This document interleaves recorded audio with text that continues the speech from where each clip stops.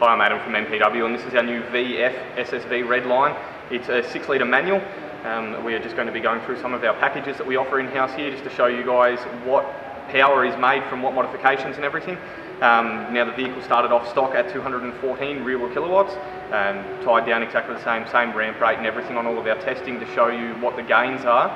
We've just done a MAF tune on the vehicle with a VCM OTR and a mild catback exhaust making 245.8 real kilowatts.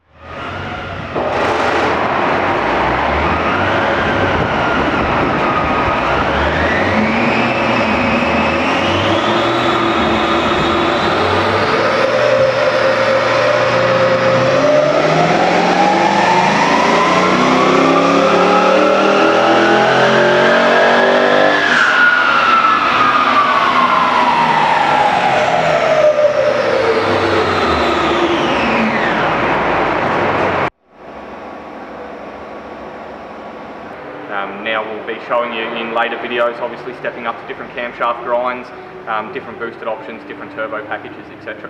If there's anything that you would like to see or that you would like more information on, feel free to contact us on www.mpwperformance.com.au.